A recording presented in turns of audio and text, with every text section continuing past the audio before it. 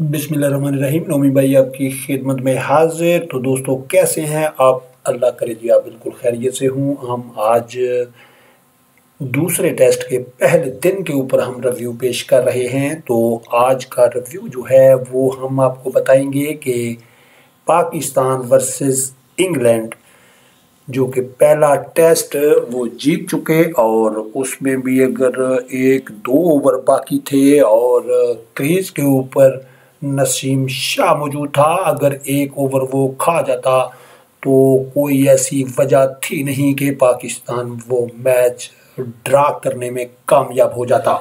लेकिन ऐसा नहीं हुआ और नसीम शाह ठुस कर गया जनाब। और पाकिस्तान वो आखिरी विकेट जैसे ही गिरी तो पाकिस्तान वो मैच हार गया।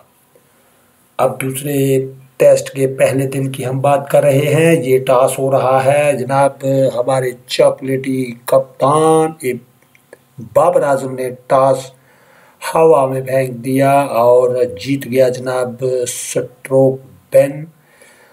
और उसने बैटिंग का फैसला किया और ये पाकिस्तानी टीम इसमें जो तब्दीली में नज़र आई वो जनाब इब्रार अहमद की थी और इब्रार जो है वो उसको पहला डेब्यू टेस्ट का आज पहला दिन है उसका। लेकिन ये पहला दिन उसका जनाब इतना ज़बरदस्त आएगा, ये समझ में नहीं था।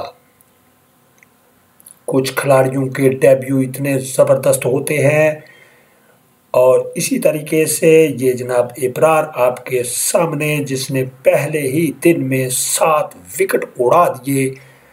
और ये कोई नई बात नहीं है, जैसे ही इंडिया की टीम पाकिस्तान आई तो पाकिस्तान वालों ने ऐसा कोई ना कोई बैट्समैन या ऐसा कोई बॉलर लेके आ जाते हैं, जिसकी गोरों को बिल्कुल भी समझ नहीं आती। और यही आज भी हुआ। कि इब्रार ने जैसे ही गेंदें की, जो जनाब इंग्लिश टीम को बिल्कुल भी समझ नहीं आई कि ये कहाँ से बंदा ले आयो यार। ये जनाब पॉप हैं और इसकी सिक्सटी वन पे सिक्सटी, ये टीम जो है ज़्यादातर ट्वेंटी मैच खेलने वाली है और यही वजह है कि पहले दिन पहले टेस्ट में इन लोगों ने छः की एवरेज से स्कोर किया और ये आपको सामने इब्रार नज़र आ रहा है जब उसने सात विकेट्स ले लिए और उसके बाद अल्लाह की हजूर वो शुक्र अदा करता हुआ ये आपको सामने दिखाई दे रहा है। तो इब्रार ने जनाब डेब्यू किया और बहुत ही ज़बरदस्त और पाकिस्तान की तारीख में उसने नए भाव का सफ़र कर दिया। इसमें जनाब ये इंग्लैंड की तरफ़ से दो बंदे जिन्होंने फिफ्टी स्कोर की डक्ट है, पॉप है, इन दो बंदे ऐसे हैं जिन्होंने फिफ्टी स्कोर की और उसके बाद यूँ पहले सेशन का खेल जैसे ही ख़त्म हुआ तो इब्रार की पाँच विकेट, पचासी रन देकर सोलह आशारिया एक ओवर में उसके बाद उसने अपना तसलसल जारी रखा और बिल्कुल भी पीछे मुड़ के नहीं देखा और यही वजह थी कि ये उसकी सातवीं विकेट थी। उसके बाद पाकिस्तान की टीम की बारी आई और पहले ही दिन पाकिस्तान की दो विकेट उड़ी, जिसमें इमामुल हक जो है वो आंडा बना के गया और उसके बाद हमारा चॉकलेटी कप्तान, उसकी फिफ्टी जनाब बोर्ड के ऊपर मौजूद है।